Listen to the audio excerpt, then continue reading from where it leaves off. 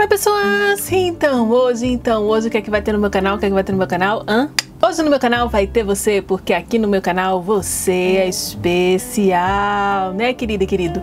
E eu peço a você que já deixe o seu like no início do vídeo para ajudar o canal, gente, né? Então você deixa o seu deixa, então você deixa o seu like no início do vídeo, coloca um emoji tá? Qualquer emoji, uma palminha, um sorrisinho, qualquer coisinha, não precisa nem escrever se você não quiser. Ah, eu tô com preguiça de escrever, porque às vezes tem isso, né? Tô com preguiça de escrever. Não, não precisa escrever. Coloca um emojizinho, entendeu? Que dá certo também, tá? Ajuda aí o canal, tá bom, gente? Vamos ser, vamos se ajudar, vamos ser irmão, irmão, né? Então, gente, hoje eu vou falar sobre o seguinte, mais um, né, assunto que acontece aqui no quê?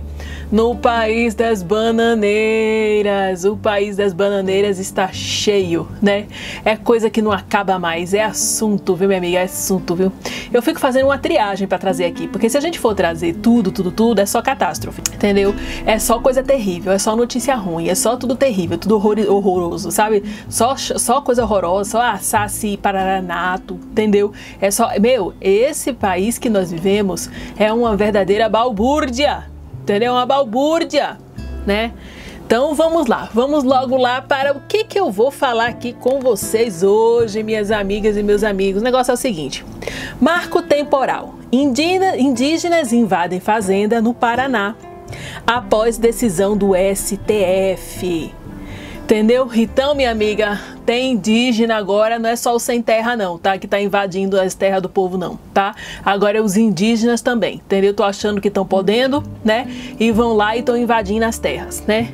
É um absurdo. Só acontece aqui no país das bananeiras mesmo, tá, gente? Isso aqui é só aqui no país das bananeiras. Vai fazer isso lá fora para você ver. Primeiro que eles passam chumbo, né? Se você entrar dentro da terra de alguém lá fora, em outros países, eles passam chumbos, fazendeiro, tudo. Eles, né, não tem essa história de ficar passando a mão na cabeça, não, né? Mas aqui no país das bananeiras, né, acontece isso.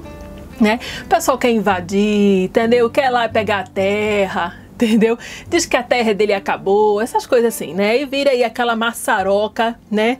De um monte de, de, de coisas terríveis e, né?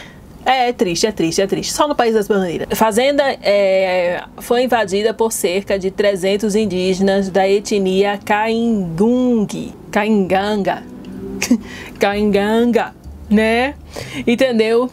Que alegam direitos sobre a terra, tá? Isso aqui é um absurdo total. Uma semana após a decisão do Supremo Tribunal Federal de derrubar a tese do marco temporal para demarcação de terras indígenas, uma fazenda no estado do Paraná foi invadida por indígenas. A situação foi registrada nesta, neste dia aí, quinta-feira, tá?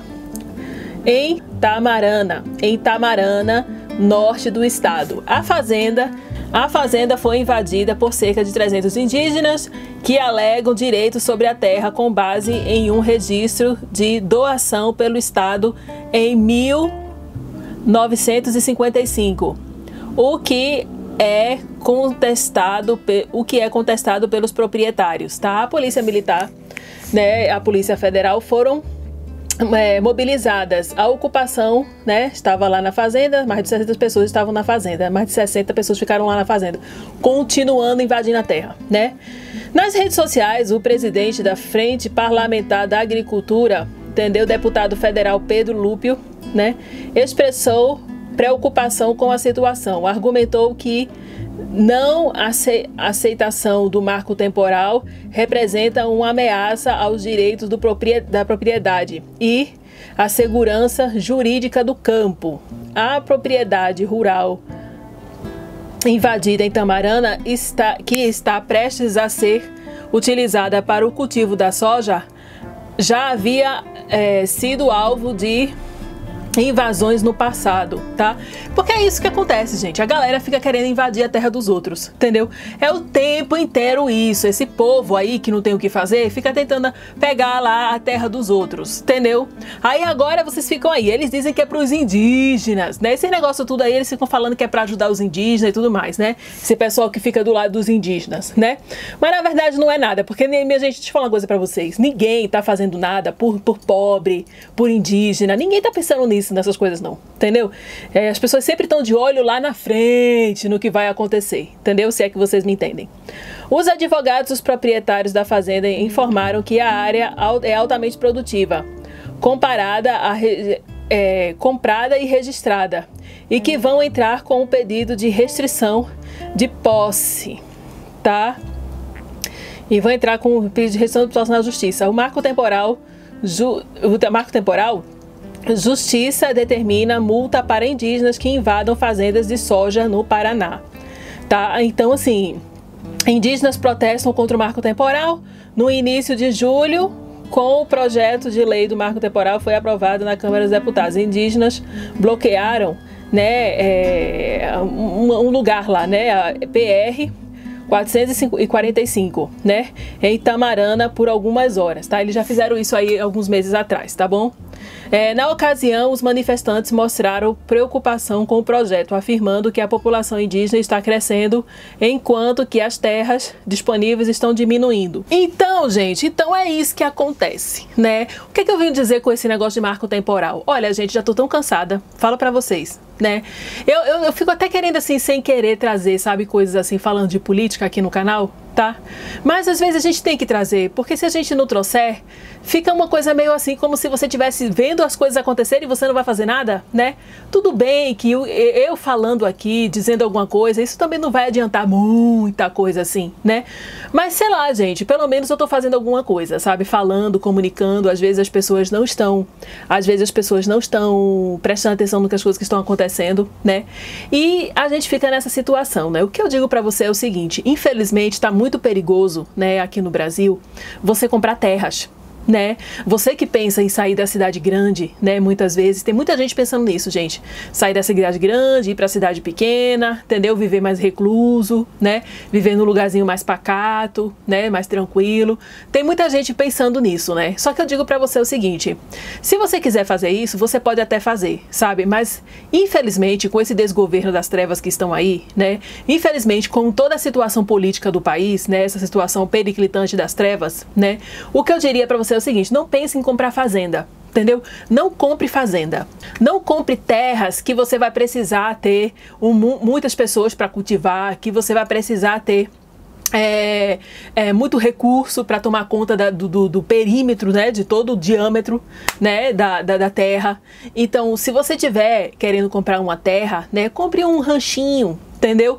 Um ranchinho que tem uma terra pouquinho ali para você é, é, cultivar, mas ao mesmo tempo você pode é, é, murar a sua terra, entendeu? Você pode levantar, sei lá, muros, levantar, é, como é que eu posso dizer? É murar mesmo, entendeu? Se você for comprar um ranchinho, um, né, um sítiozinho, uma coisinha pequenininha, né, nada que seja gigantesco, você pode murar o seu, seu sítio, você pode murar o seu, seu canto lá, né? Da, se bem que é uma fortuna para murar, imagina você murar um rancho inteiro, né?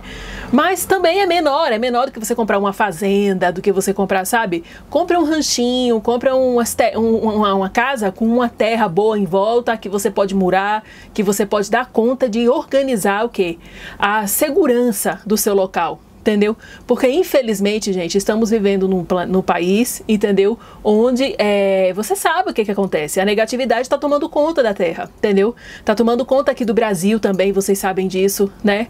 Então, devido a tudo isso, eu que eu diria para vocês é o seguinte: não, toma cuidado se você for investir em terras, entendeu? Porque não, não está bacana, entendeu? Tem esse povo aí do sem terra o tempo todo invadindo a terra dos outros, né? Então, assim, você vai ter dor de cabeça, você vai ter que ir pra justiça, você vai ter que, entendeu? Infelizmente, a justiça no Brasil, ela não é lá essas coisas, né? Então, o que eu diria para você é o seguinte, se você tiver que investir o seu dinheiro, né? Ah, eu quero comprar um, um cantinho para mim no interior. Compre um cantinho. Não precisa comprar um lugar enorme, gigantesco, que você vai precisar, que você corre, vai correr o risco de alguém invadir sua terra, entendeu? Não compra, gente. Não compra, entendeu? Não tá bom o tempo para comprar esse tipo de coisa, entendeu? E tem esse povo do invasão de terra, é índio, é sem terra, é um monte de gente querendo invadir suas terras, roubar o que é dos outros, entendeu? Então o que eu diria para você é não faça isso tá? Não faça isso, procure investir seu dinheiro em outra coisa, né? E se você quiser um cantinho no interior, compre o seu cantinho, mas um cantinho que você possa murar, entendeu? Você possa murar, botar fio de alta tensão, possa realmente ter um controle ali da sua terra, entendeu? De modo que outras pessoas não vão poder adentrar o seu, o seu, o seu, o seu território entendeu? É isso que eu diria para você, tá? Se você pensa em comprar, eu quero comprar uma fazenda, não sei o que, não compra, gente. Eu digo para vocês, não compra, que a gente não tá num tempo favorável, nem, nem politicamente, nem de nada, nada, entendeu? É, favorável para que você compre umas terras, entendeu? Isso é que eu venho dizer aqui para vocês, tá, gente? Então, assim, é o que eu, é, o que eu trouxe com esse, com esse vídeo foi isso, tá? Eu não vou ficar falando muito sobre marco temporal, não marco temporal, porque isso aí tem tanta política envolvida, gente, entendeu? É tanto mau caratismo envolvido, sabe? É tanto mau caratismo envolvido, é tanta coisa ruim envolvida, sabe? Aí você pensa que o pessoal tá querendo fazer as coisas para ajudar os pobres ou ajudar os índios, mas não é, sempre tem uma segunda intenção por trás, entendeu? Nada é para favorecer as pessoas. Não, não, não, não caiam nessa, gente. Nada nesse planeta é de graça, gente. Nada, entendeu? Tudo tem um valor, tudo tem uma coisa. Você sabe que perante a pirâmide, né, que toma conta desse planeta, você sabe, perante essa pirâmide, né, de, de, de, de, pessoas que estão lá tomando conta do planeta, as pessoas mais poderosas, elas não querem nada de ficar dando café com leite pra gente pobre, não, gente. Desculpa, isso não é, tá? Se eles fazem isso em algum momento, se eles fizerem é porque eles estão pensando já em outras coisas por trás, entendeu? Então o que eu diria para você é o seguinte, eu venho dizer isso, não compre terras, não compre coisas muito grandes, entendeu? Que você não possa dar conta de, de proteger, tá? Então, pessoas, eu espero que vocês tenham gostado. Se você gostou, dê um joinha, se inscreva no canal, aperta no sininho, deixa seu recadinho pra mim. Eu espero que vocês tenham gostado e até a próxima!